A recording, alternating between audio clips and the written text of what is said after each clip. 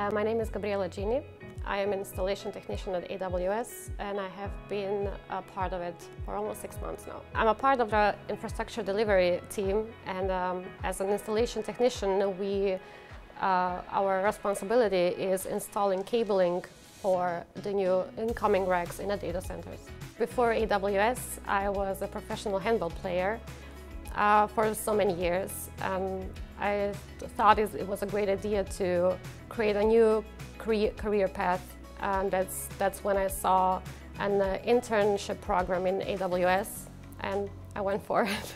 when I applied for the job for the internship um, program, I didn't actually expect it to get in and uh, be a part of AWS.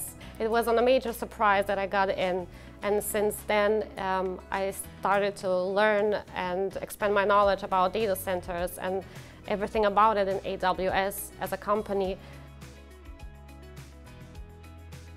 Well, my biggest surprise since I've joined AWS is the diversity in the company, pe the people, the culture, and my team has also been very supportive and approachable and helpful as well to help me grow and um, expand my knowledge and uh, solving all of the, the problems and the issues I've dealt with. Well, my favorite uh, leadership principle is learn and be curious. Since I'm coming from another profession, um, that's the one thing that is um, driving me to uh, learn in AWS and expand my knowledge as well.